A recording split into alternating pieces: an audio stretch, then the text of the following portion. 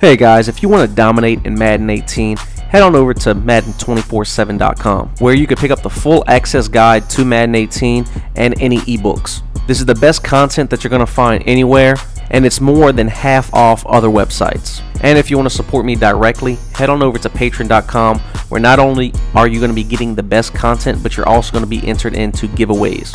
So if you're interested, head on over to the links in the description below. What's up guys? We are here today for the first pro tip for Madden 18 uh, and it might have changed this year but I just want to go over uh, the rookie premiere packs uh, that are out and they're supposed to carry over into Madden 18. So what you see you do here is you collect the uh, gold rookie premiere players and then you're going to trade them in and then as of right now for Madden 17 what you're going to do is get a 99 overall player uh, but then what's going to happen for Madden 18, you see, is that you get them as well at a 78 or whatever their overall rating is for Madden 18 starting the year off. Now here's some info uh, about it.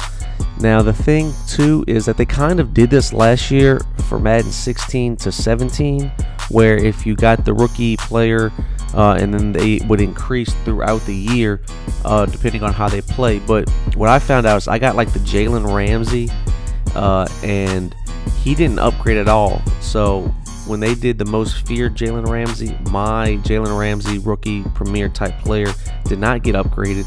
Or when they did the ultimate freeze, um, or when they did I guess the all rookie card, like and then the most recent, the 99 overall Jalen Ramsey.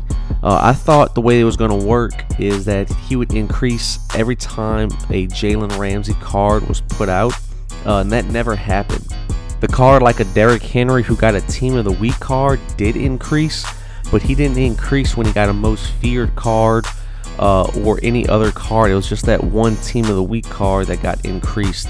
So that's how I'm guessing it's going to go is if they get like one two or three Team of the Week cards uh, throughout the year. And usually no one gets more than two Team of the Week cards. So if Myles Garrett or Leonard Fournette uh, gets a Team of the Week minor upgrade, you'll get that upgrade as well. But if they get, say, an Ultimate Freeze with a chemistry, I believe it's not going to upgrade because last year did not upgrade unless they change it.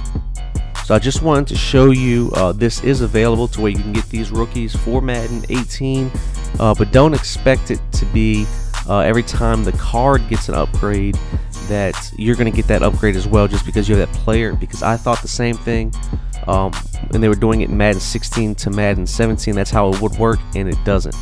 But like I said you can uh, you know take that chance. They might have changed it but I doubt it because they want to be able to sell more packs but that is going to be my first Madden 18 pro tip.